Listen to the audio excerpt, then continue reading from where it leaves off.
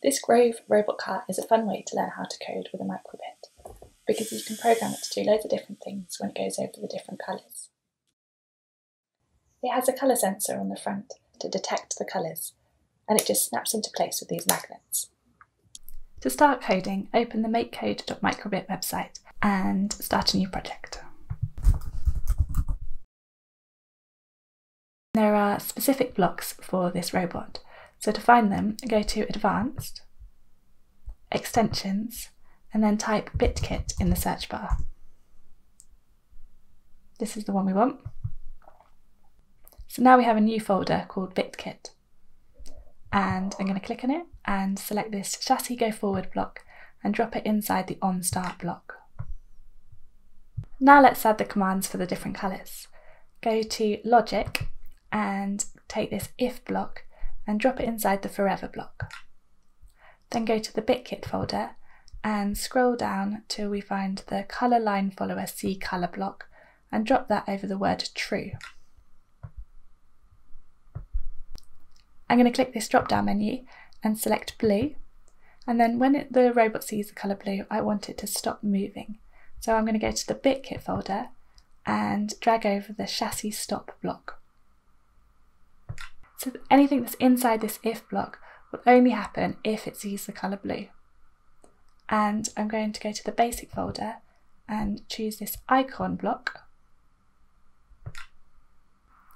which will show up on the little lights in the front of the microbit. And I'm going to go for this big X because it's like a stop sign.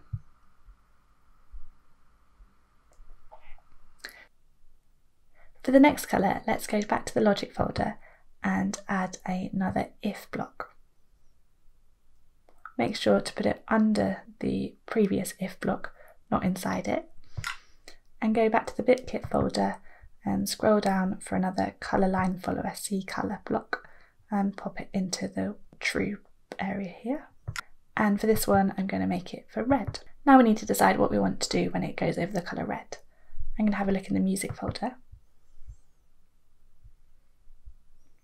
and go for this melody block. And I'll go for the entertainer.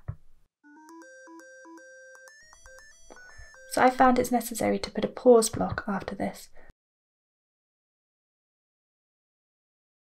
Three seconds worked for me, which is 3000 milliseconds. And I'm also going to add a heart. So I'm going to go to the basic folder, get the show icon block, and I can keep it with this picture. There are two more colours that the sensor can recognise, black and green. So I'm going to go to the logic folder and get two more if blocks.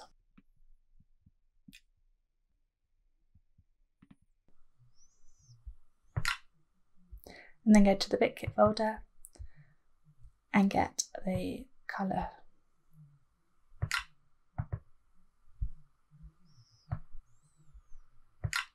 This one I'll keep as black and this one I'm going to change to green. So what else do we want the robot to do? We could get it to play a musical note by going to the music folder and getting this one play tone block and putting it here and you can change which note it is using the little keyboard here. And we could also get it to write a word using the little lights on the front by going to the basic folder and selecting show string. And then you can change the words here.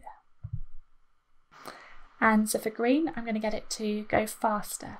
So I'm going to go to the BitKit folder and drag this chassis go forward block into this if into this if command and change the speed to fast.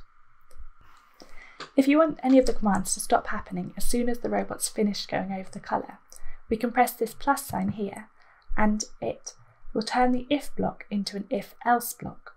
So now, if the robot is not going over the colour green, I want it to go slowly.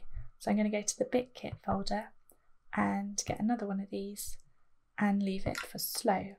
This is the same eh, block as you can find here, the if else block. And if you want to turn it back into an if block, just press this little minus button. Once you've finished coding, click the download button and follow the instructions that pop up here. Then snap the pieces of the robot together, insert the microbit and turn it on.